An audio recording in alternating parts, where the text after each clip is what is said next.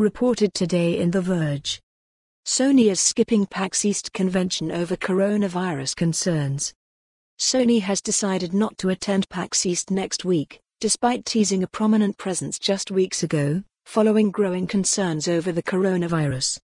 We felt this was the safest option as the situation is changing daily, the company said in an updated blog post.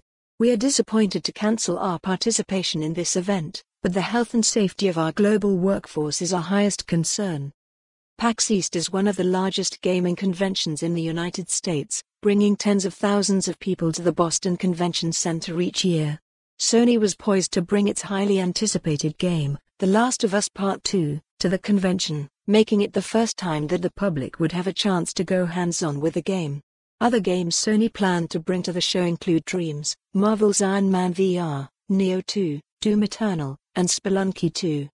The most recent coronavirus outbreak appeared in Wuhan, China, at the start of December and has rapidly evolved into a world health crisis.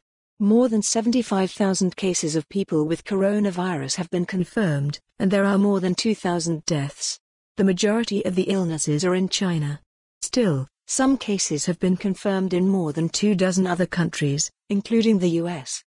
Sony isn't the first company to pull out of a convention over coronavirus concerns. Multiple tech companies pulled out of Mobile World Congress, the largest mobile phone convention in the world, due to the virus.